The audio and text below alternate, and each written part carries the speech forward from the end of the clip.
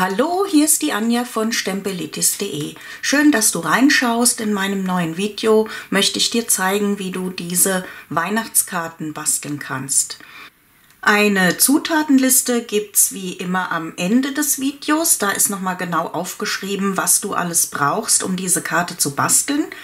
Ich fange an mit der Basis der Grundkarte, das ist Flüsterweiß extra stark, habe ich mir so längs zugeschnitten und schon gefalzt.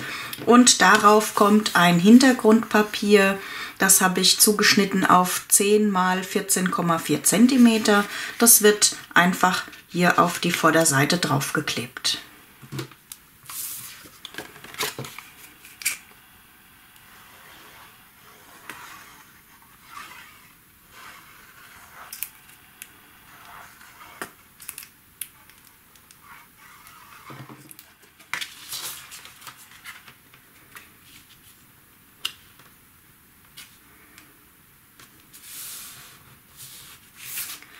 Für das Motiv auf der Vorderseite habe ich einmal schwarzen Glitzerkarton zugeschnitten auf 7,5 x 7,5 cm und ein Stück Flüsterweiß in 7 x 7 cm. Dann habe ich mir aus Goldfolie mit diesen Edgelits einfach mal alle drei ausgestanzt und habe sie mir ein bisschen zurechtgeschnitten, also einfach so mehr oder weniger in der Mitte durchgeschnitten, dass die jeweils auf so eine Vorderseite drauf passen und da kriegst du dann eine recht große Auswahl, um das alles ein bisschen unterschiedlich zu gestalten. Ich ähm, würde sagen, für diese Karte nehme ich mal das Motiv hier und du siehst, wenn du das ausgestanzt hast, am besten mit der Präzisionsplatte, weil da sehr viele kleine filigrane äh, Ecken und diese kleinen Fensterchen hier auszustanzen sind. Das ist jetzt nicht automatisch rausgefallen, als ich das aus dem Sinlet rausgelöst habe. Und das kann man jetzt auch einfach so lassen. Aber man kann auch einzelne Teile noch ein bisschen rausschubsen. Ich nehme dafür gerne meinen Piekser und dann überlege ich mir, lasse ich die Fenster drin und äh, mache nur hier diese Tür, den Türrahmen raus. Dann kann man das vorsichtig anpieksen und rauslösen, je nachdem, wie du das gerne haben möchtest.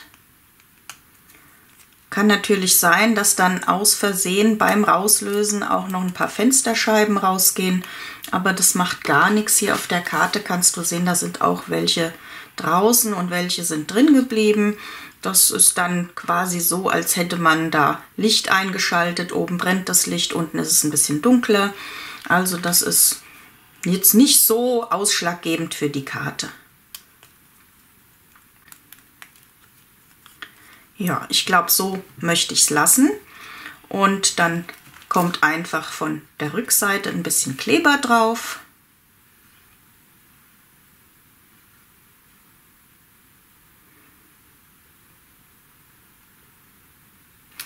Und dann platziere ich das hier auf dem Flüsterweiß, nicht zu weit unten, weil da soll ja noch unsere Kordel und das Washi-Tape drauf.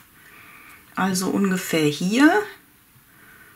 Und damit das jetzt auch schön gerade aufliegt und festklebt, lege ich mir einen Acrylblock drüber.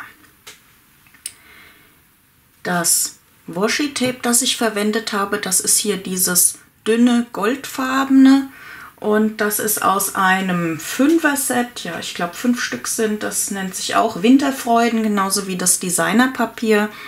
Und da brauche ich eben nur ein kleines Stück, das ich mir um das Flüsterweiß rumklebe. Das sollte jetzt auch getrocknet sein. Also einfach ein Stückchen abreißen und dann hier unten am Rand gucken, dass es möglichst gerade wird. Und jetzt einfach hier hinten rumlegen. Ja, war vielleicht ein bisschen lang, aber macht ja nichts. So.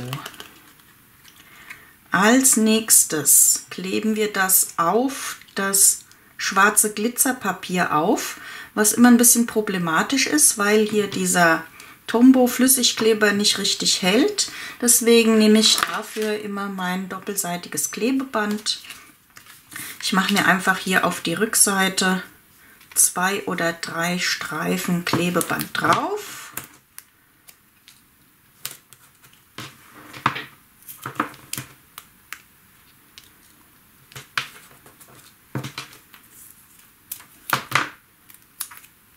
So. Und dann hält das auch.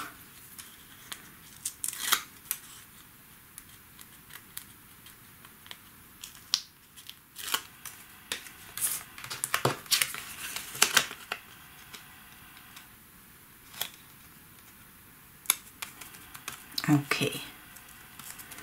Und darum wickel ich mir jetzt meine Kordel. Ich habe hier eine weiße Kordel mit äh, ein bisschen Goldglitzer drin. Ich glaube, die äh, gibt es aber gar nicht mehr bei Stampin' Up. Was es aber noch gibt, ist hier diese gestreifte Kordel in schwarz, also schwarz-weiß. Und da nehme ich jetzt einfach mal die hier. So ungefähr 60 cm sollten es schon sein die du dir da abschneidest, damit du das bequem binden kannst und kürzen kann man es dann immer noch. Also zweimal drum wickeln.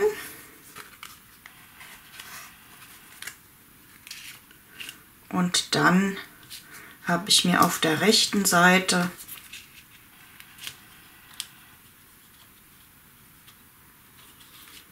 eine Schleife gebunden. Es geht einfacher, wenn du hier jetzt erstmal einen Doppelknoten machst. Dann kann dir das Ganze nicht mehr verrutschen. Und dann kannst du in Ruhe deine Schleife binden und die dir so zurechtziehen, wie du das gerne haben möchtest. Also nicht zu große Schlaufen. Immer noch mal ein bisschen nachziehen, dass es dann auch gut hält.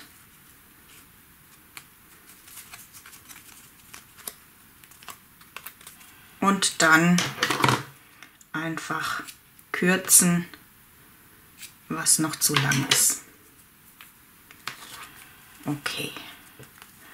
Ja, wenn du magst, kannst du jetzt noch ein paar Glitzersteine aufkleben. Entweder diese Sternchen, das sind die Metallic Lack Akzente. Was sich auch ganz gut macht, sind hier diese schwarzen Glitzersteine aus dem Winterkatalog. Die passen da auch ganz gut dazu. Ich habe hier noch drei Sternchen und die setze ich jetzt auf die Karte drauf. Eins in die Ecke, eins auf diese Seite und dann machen wir vielleicht noch hier eins hin. Das können wir jetzt auf unsere Karte aufkleben und zwar mache ich das mal wieder mit Dimensionals, also den 3D Klebepads. Die verteile ich hier auf der Rückseite in jede Ecke eins. Und dann ist es auch nicht verkehrt, in die Mitte auch noch mal ein bisschen was reinzumachen. Da kann man hier den Rand gut verwenden.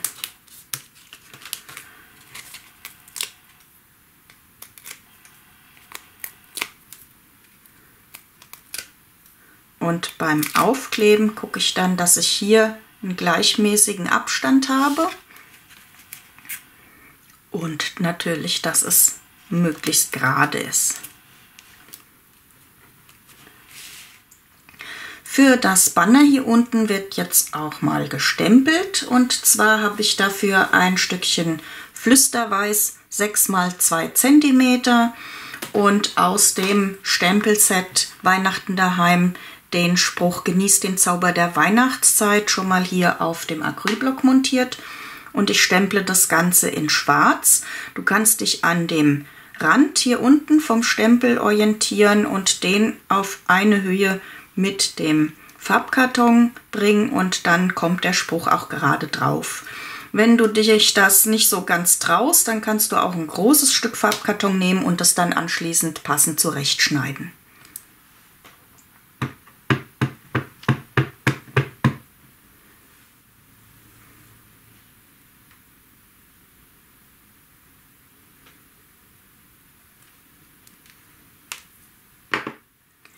Unterlegt wird der Spruch nochmal mit einem Stück schwarzen Glitzerkarton. Der ist 9 mal 2,4 cm groß. 2,4 cm deshalb, weil wir ihn jetzt mit dieser Fähnchenstanze zurechtschneiden. Und 2,4 ist genau die Breite, die hier in diese kleinste Aussparung hineinpasst. Und da können wir den jetzt wunderbar reinschieben. Einmal stanzen und dann hat das Banner die passende Größe, dass wir jetzt unseren Text da draufkleben können. Auch hier gilt wieder mit äh, doppelseitigem Klebeband, damit das Ganze hält.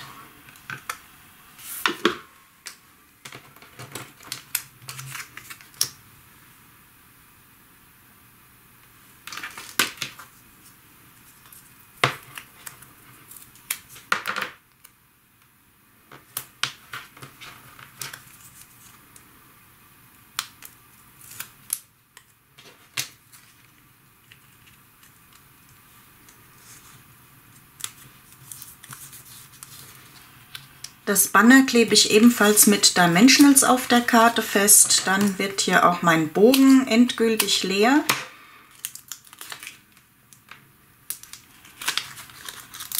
Also auch hier das Ganze auf der Rückseite schön verteilen.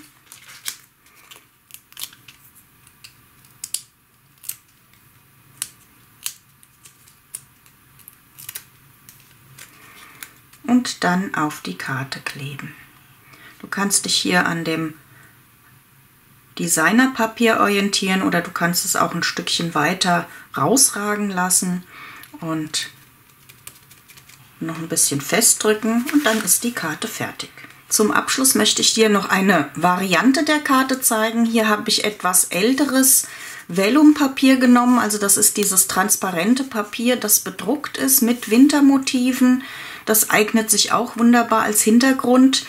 Das Problem bei diesem Vellum ist immer, wenn man es festklebt, sieht man den Kleber. Deswegen habe ich hier einfach da doppelseitiges Klebeband ab angebracht, wo es dann verdeckt wird hier von dem Farbkarton. Also einmal habe ich hier ähm, Klebeband aufgebracht und dann noch einmal hier hinter dem Banner. Dann ist es zwar an den Seiten lose, aber das macht nichts. Ähm, insgesamt hält es aber gut auf der Karte und wenn man nicht so viel daran rumbiegt, wie ich jetzt hier zum Zeigen, dann liegt das auch gerade auf und stört überhaupt nicht.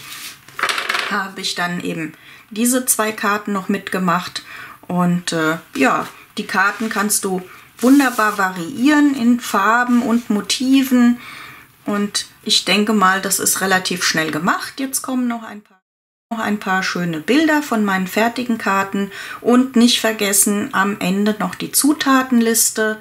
Wie gesagt, da steht alles drauf, was du brauchst für die Karte. Und ich würde mich freuen, wenn du mir einen Daumen nach oben gibst für mein Video und wenn wir uns beim nächsten Mal wiedersehen. Damit du nichts verpasst, empfehle ich dir ein Abo, abonniere meinen Kanal und dann bekommst du immer eine Nachricht, wenn das nächste Video bereitsteht. Tschüss, bis zum nächsten Mal.